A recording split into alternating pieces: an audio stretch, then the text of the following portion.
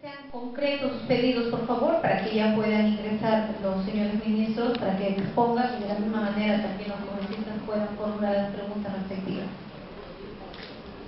Bueno, eh, buenas tardes, Presidenta. Gracias por la, permitirnos hacer uso de la palabra, señor congresistas, igualmente. Eh, yo también voy en el orden de ideas, como lo ha desarrollado Alejandro Malázquez, coincidimos en estos aspectos. De, de propuestas, han habido bastantes propuestas durante todos estos años. Eh, nos parece que este decreto legislativo tiene un aspecto positivo siempre y cuando obedezca a un programa integral que era la visión que se tenía con respecto a una reubicación voluntaria para Bahía Blanca, que ese fue el, el fundamento del estudio de factibilidad y cómo comenzó Bahía Blanca, siempre con esa tendencia. Eh, yo, yo solamente agregaría ¿no?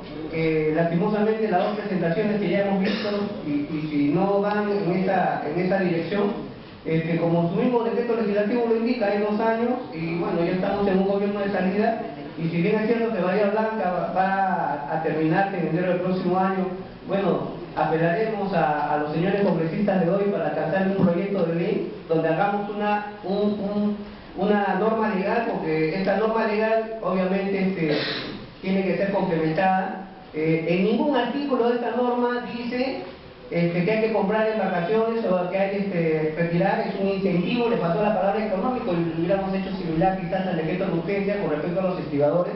Y lo que sí le vamos a pedir después de escucharlo, vamos a trabajar una propuesta de ley para tratar de, que al menos eh, para los que se quieran ubicar, porque hay gente que se quiere quedar obviamente, este, a su costo y riesgo, entremos a una solución integral. Eso sería todo.